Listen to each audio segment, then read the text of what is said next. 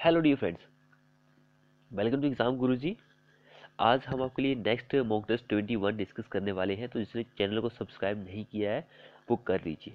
तो देखिए, सबसे पहले हमारा फ़र्स्ट क्वेश्चन क्या बोल रहा है? In the grade M twenty M twenty का ग्रेड हमारे पास दिया गया है has very few mixture of few mixture का मीनिंग है कि भाई इसका रेशियो क्या होता है। एम ट्वेंटी ग्रेड होता है, उसका रेशियो क्या होता है? यहाँ पे चार ऑप्शन दिए गए हैं। इजी लेवल का क्वेश्चन है, ये क्वेश्चन जो है एस एस सी में पूछा गया था मोस्ट एक्सपेक्टेड क्वेश्चन है। तीन चार बार ये क्वेश्चन जो है पूछा जा चुका है, इसलिए हमने इस वीडियो में इंक्लूड किया है। तो देखिए option number one one ratio एक पॉइंट पाँच रेशियो थ्री ये जो होता है एम ट्वेंटी का रेशियो होता है, एक रेशियो दो रेशियो तीन जो हो, चार जो होता है, ये एम पंद्रह का रेशियो होता है। ये जो दिया गया है, ये एम टेन का होता है। कमेंट बॉक्स में ये लिखिए भाई कि ये किसका रेशो होता है। तीनों को मैंने आपको बता दिया ए बी सी तीन ऑप्शन बता दिया इस क्वेश्चन के लिए हमारा आंसर ए होगा। फोर्थ का आपको बताना है कि भाई ये किसका होता है। एक हमारे पास और भी होता है, जैसे कि one ratio four ratio eight ये जो होता है, ये एम सेवन पॉइंट फाइव से लेकर फाइव एम फाइव के लिए होता है यह एम फाइव से एम साढ़े सात के लिए ही होता है तो ये चीज़ भी इम्पोर्टेंट है एग्ज़ाम के पॉइंट ऑफ़ व्यू से। इसको भी आप याद कर लीजिए। अगला क्वेश्चन देखिए यहाँ पर। इस the short term modulus of elasticity of concrete newton पर एम स्क्र में एज पर हमारे I S code is given by क्या आंसर रहेगा इस क्वेश्चन का? वेरी इंपॉर्टेंट क्वेश्चन है ये। मॉडुलस ऑफ़ इलास्टिसिटी जो होती है, एक शॉर्ट टर्म के लिए होती है, एक लॉन्ग टर्म के लिए होती है। पिछले वीडियो में मैं आपको बता चुका हूँ कि कौन सी शॉर्ट टर्म के लिए होती है, कौन सी लॉन्ग टर्म के लिए होती है। तो शॉर्ट टर्म के लिए ये वाली होती है, आप याद रखिए। लेकिन यहाँ पर भी केस होते हैं। एक four five six nineteen seventy eight का केस होता है, एक four five six two thousand का केस होता है। दोनों के केसेस में डिफरेंट डिफरेंट वैल्यू होती है मॉडुलस ऑफ़ इलास्टिसिटी की कंक्रीट के लिए। अगर आप 1978 की बात करेंगे तो उसके लिए 5700 अंडरूट एफ़ सी के लेकिन 2000 के लिए 5000 होती है अंडरूट एफ़ सी के ऑप्शन ए हमारा इस क्वेश्चन के लिए आंसर बन जाएगा। ये कॉमन क्वेश्चन है। अगला क्वेश्चन क्या बोल रहा है? For M twenty grade of concrete M twenty का ग्रेड दिया गया कंक्रीट का मॉडुलर रेशियो जो होगा, वो क्या क्या होगा? वुड बी मॉडुलर रेशियो को आप एम से डिनोट करते हैं। इसका रेशियो जो फॉर्मूला होता है 280 over three sigma CBC sigma CBC जो होता है इस पर हमारा ये मॉडुलर रेशियो डिपेंड करता है?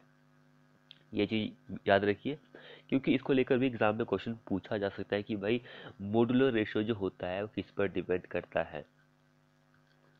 तो सिग्मा सीबीसी जो होता है परमिसिबल इस पर वैल्यू डिपेंड करता है मॉडुलर रेशियो तो sigma C C B C जो होता है अलग अलग होता है हर एक ग्रेड के लिए। जैसे कि एम टेन के लिए अलग होगा एम पंद्रह के लिए अलग होगा एम बीस के लिए अलग होगा एम ट्वेंटी फाइव के लिए अलग होगा। तो सभी के लिए अलग अलग वैल्यू होती है सिग्मा सी बी सी की।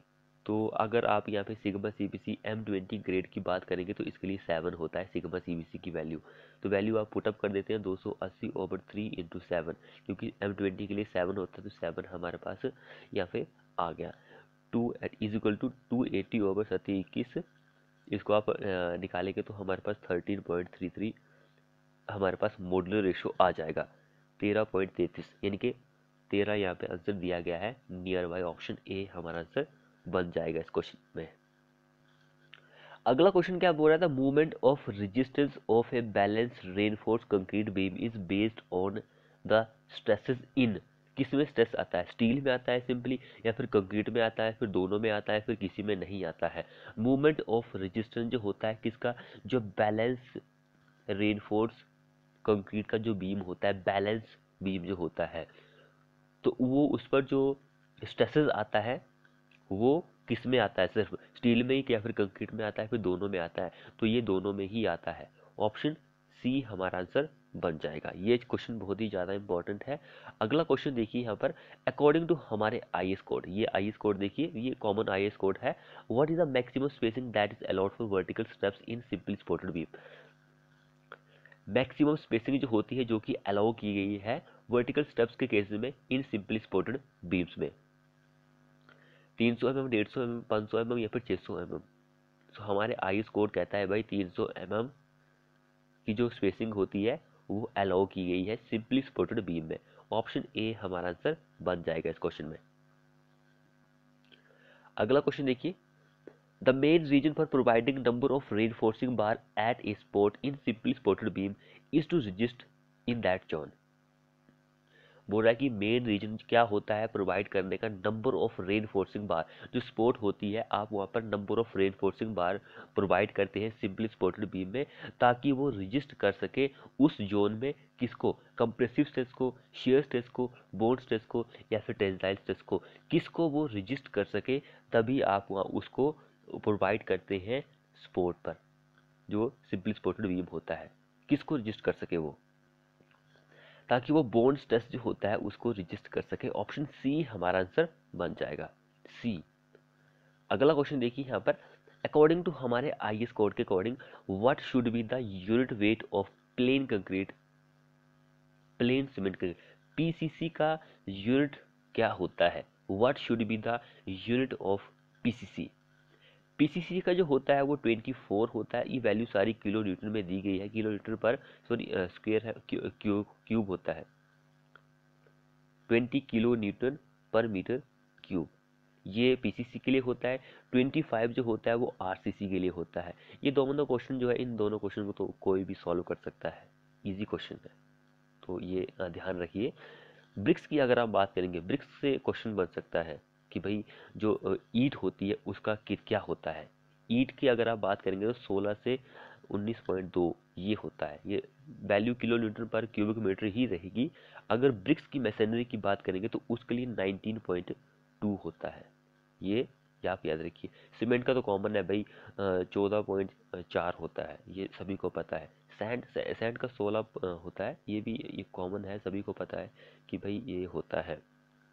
और स्टील का तो सभी को पता है seventy eight point five K G में बात करेंगे तो सेवन एट फाइव ज़ीरो ये होगा ये कॉमन क्वेश्चन है इनको कोई भी सॉल्व कर सकता है। सो so, अगला क्वेश्चन देखिए which of the following below structure यहाँ पे चार स्ट्रक्चर दिए गए हैं does not does not required pre stress concrete ये चार स्ट्रक्चर यहाँ पे दिए गए हैं किसमें प्री स्ट्रेस कंक्रीट जो होता है, वो नहीं लगाया जाता है यूज़ नहीं किया जाता है।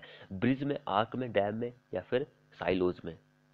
तो आर्क जो होती है, उसमें नहीं यूज़ किया जाता है। ऑप्शन बी हमारा आंसर हो जाएगा। ब्रिज में यूज़ करेंगे, डैम साइलोज में यूज़ करेंगे, लेकिन आर्क में हम यूज़ नहीं करेंगे। उसके बाद अगला क्वेश्चन देखिए तो pitch of the roof truss is usually of its slope जो पिच होती है रूफ ट्रसेस की, वो यूजली होती है उसके स्लॉप की हाफ़ वन फोर्थ डबल या फिर थ्री फोर्थ कितनी होती है। पिच जो होती है तो वो होती है हाफ़ आधी होती है। ऑप्शन ए हमारा आंसर बन जाएगा। जिसने चैनल को सब्सक्राइब नहीं किया अभी तक, वो कर लीजिए और साथ में बेल आइकन को प्रेस भी कर लीजिए। उसके बाद अगला क्वेश्चन देखिए यहाँ पे। A beam is defined as a structural member बोल रहा है कि भाई बीम एक, उसको हम डिफाइन कर रहे हैं कि भाई एक स्ट्रक्चरल मेंबर है। Subjected to axial loading axial and transversing loading transversing loading या फिर none of the above beam is defined as a structural member which is subjected to as क्या लोड क्या लगता है उस पर? सो बीम में स्ट्रक्चरल मेंबर उस पर एक ट्रांसवर्सिंग लोडिंग जो होती है वही लगती है, बाकी एक्सिल वगैरह नहीं लगती है। ऑप्शन सी हमारा आंसर हो जाएगा। उसके बाद अगला क्वेश्चन देखिए।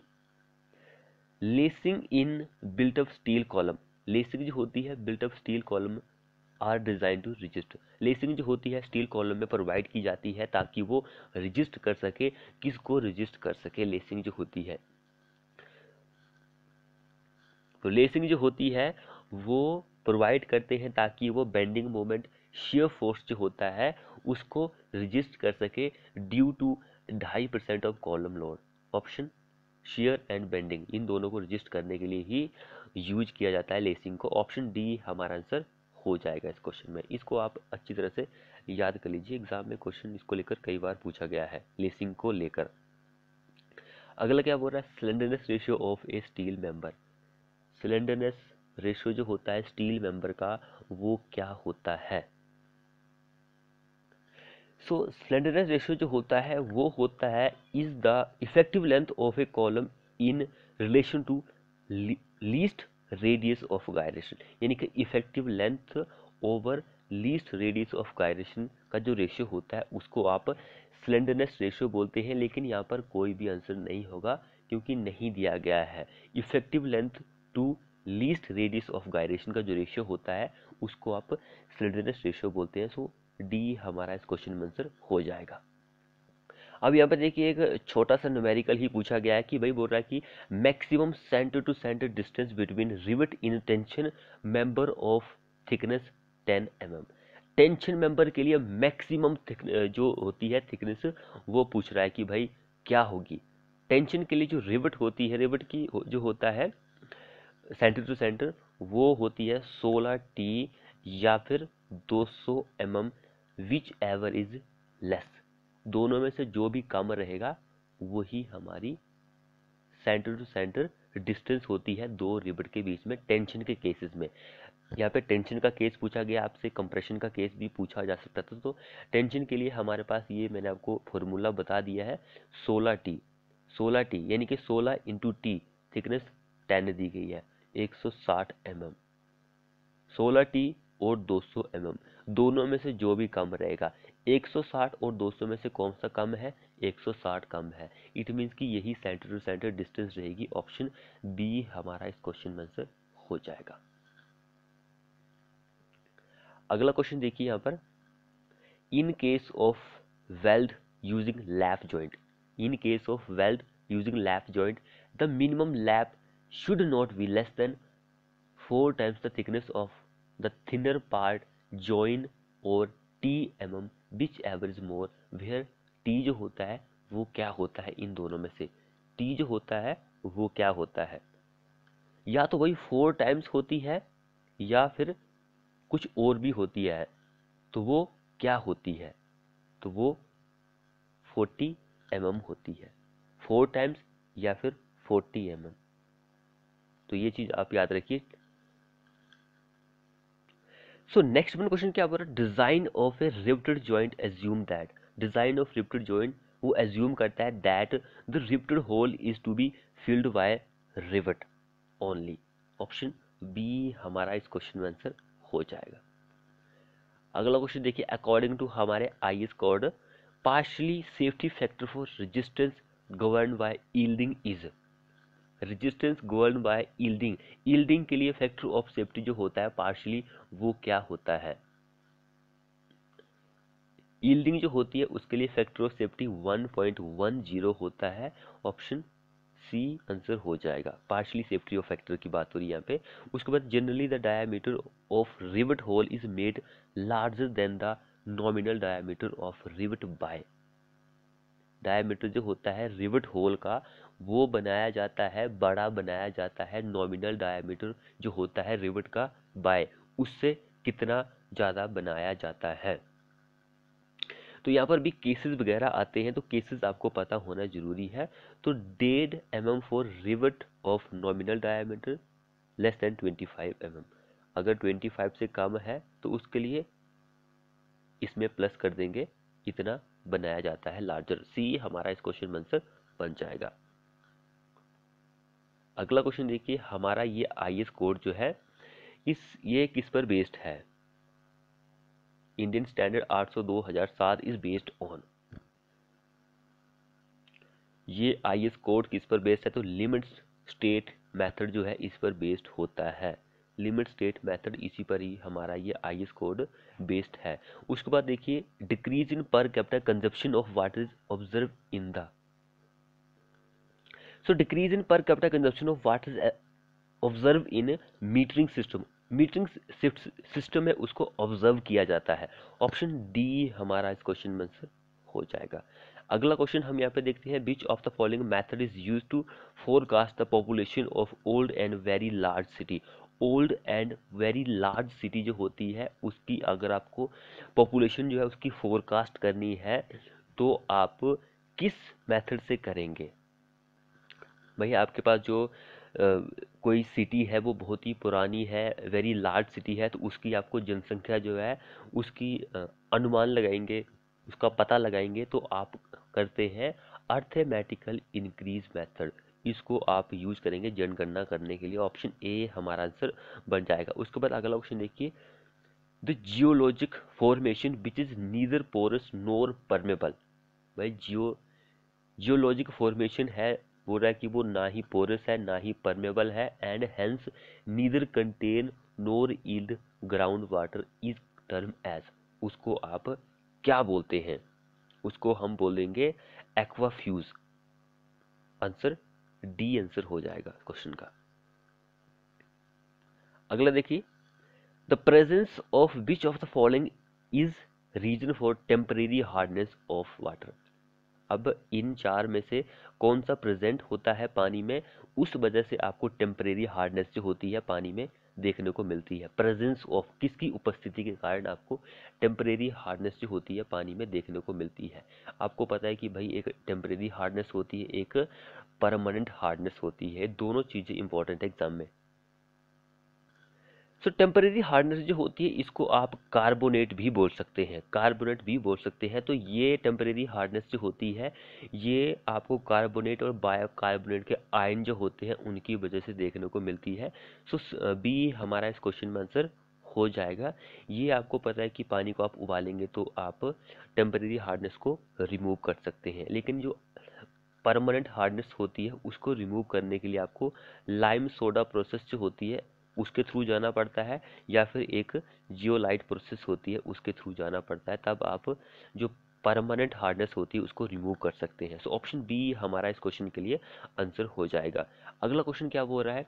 Reverse osmosis is a type of reverse osmosis जो होता है इज़ एक प्रकार की है। क्या है वो? क्या है एक प्रकार की ये?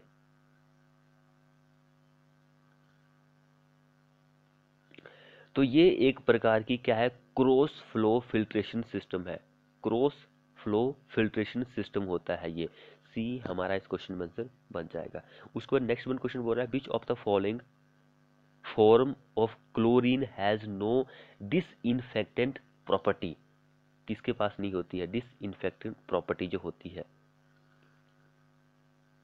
तो वो ट्राई क्लोरोमाइन जो होता है, इसके पास नहीं होती है। डी हमारा आंसर बन जाएगा। उसके बाद अगला क्वेश्चन बोल रहा है which of the following method is most commonly used in rural for defluoridation के लिए? डीफ्लोरिडेशन के लिए रूरल में कौन सा यूज़ किया जाता है?